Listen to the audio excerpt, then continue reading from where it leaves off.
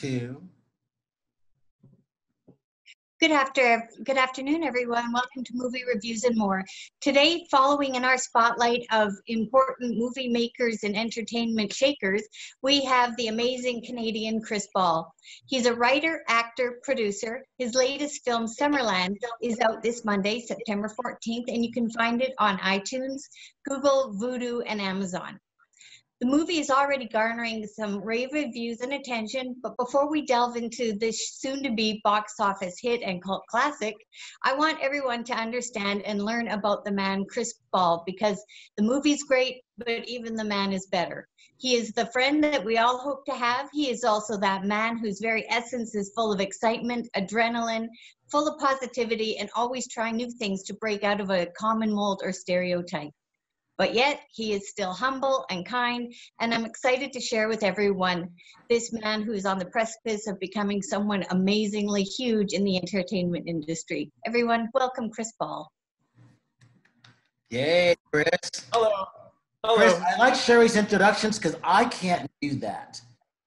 Wow. I, I, I, it's, it's only downhill from here. I, I could never top that. No, no, no know Brian's blessed us with amazing talent on the show, and I, when I believe in someone, it just it flows. So I'm I'm really happy that you were here, Chris. Well, thank you. I'm happy to be here. Chris, talk about how this came about. This is a great road story, and it's one of those things where this is where this is where I really love independent film. And you always have to. I was telling people uh, the other day for all the stuff. I'm missing watching a lot of good independent films. I think they're getting lost so I was glad when Sherry reached out to say, we have to do something with this one because it makes sense. And I love where you went.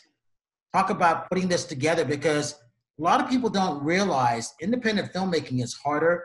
It's even tougher now. And so we have to do whatever we can to make sure those films get seen any way out there possible. Yeah, and it's a it's especially hard with COVID now too because as you know, films aren't being seen in theaters. I mean, the theaters are are, I hate to say it, the, the, theaters are a way of a way of the past, and you know everyone's watching movies at home, and that actually makes it even harder as an independent filmmaker to have those films. Uh, to have those films be released when you're growing up as a filmmaker, of course, your dream is to have the films play in theaters. And then with uh, with COVID, and that's initially how we wanted this film to be played, of course, and do festivals and and and all the, all those things that you that you that you think you want. And then COVID hit. We thought, what a perfect way but what a, what a perfect blessing in disguise to release the film during COVID when everyone's cooped up at home watching films at home with their families. What a great place for independent films to, to get discovered if you can use COVID as a um, as an opportunity instead of instead of an obstacle. But how the film came about was uh, my my best friend and and producing partner Curtis David Harder. He's one of uh, one of the co-directors in the film. He wrote the script years and years ago just as a one-off. Uh, he wrote the script for fun, thinking like we're never going to get a chance to do this. It's a road trip movie. You know, filming filming a movie in one location is hard enough, let alone actually on the road. And so he wrote it for fun, and not knowing, like, uh, he didn't know who was going to be in it or anything like that. He sent the script to me, and the script was so close to my life already. It was amazing, Brian. I was like, this script is my life. I have to do this. Like you know everything with just the character i was like i was like i have to do this. Like we have to so we kind of put it off. It was just one of those projects we wrote for fun. We put it off for and every summer we would we would go to fernie we would go to my family's place in fernie and we would work on the script just for fun. Like it was and, and i think there's something you get an authenticity with the story there when you write the script not from a place of okay, how can we make a marketable movie to make money, to appeal to the masses? Those are all important things to do as well when you're making a film. But when you come at it from a place of just writing it for fun, that's where I think a really lovely story comes. And it wasn't until years later, once we actually got enough experience and contacts and uh, in the industry, that we finally felt like we were we were able to do it uh, by actually just renting an RV with our friends and going on the road and making the movie that we wanted to make.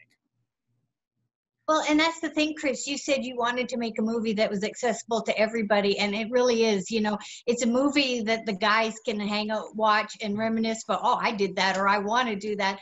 It's a movie parents would enjoy. It's a movie young kids, girls would enjoy. You know, the music festival. Um, but anybody that goes to see Summerland, I don't know if it's better to watch the making of the movie first or after, because even that in itself is a movie. Yeah.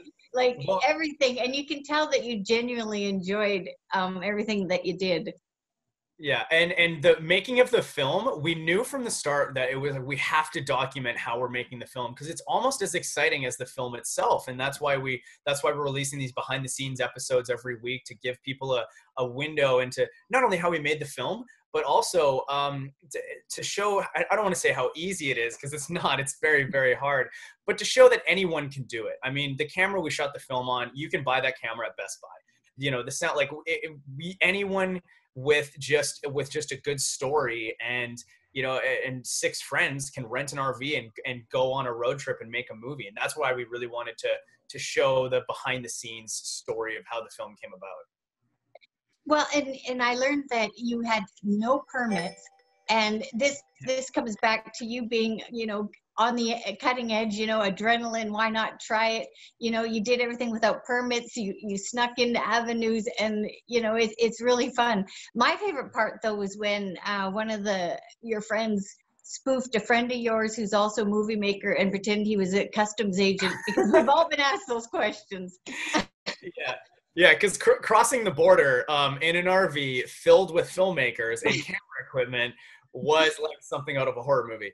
So uh, we had wait, but luckily we had the um, the film festival or the sorry the music festival tickets that we were going to, and so we showed that, and luckily we, we did get we did get through just fine. I don't know how much about this I want to talk about in public, but it was uh, we were fine. But then we called uh, one of our other producers that we were staying with in Vegas, and yeah, we pranked him pretending to be one of the border agents and asking all these and, and, stuff. And uh, it's real. It's a really really funny video because we, we totally got him too because we uh what we, we none of us talked to him for an hour as we were going through the border, so we knew he was freaking out.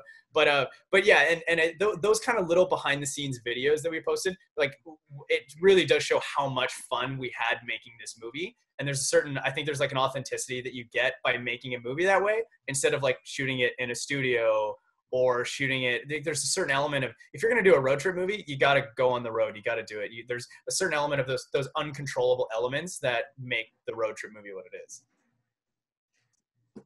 You know the other thing about this is that rv sales are up. I know this because i've been talking to are they? Really? Yes. Yes because more people have been wanting to get out to get off the grid. Right yeah. Then i was talking to Bowlus the original rv they go back to 1933 in the us it was like the silver one. The one that you had, I always wanted the Gulfstream. I still, I think I still want one for the property because it's fun being in an RV. But um,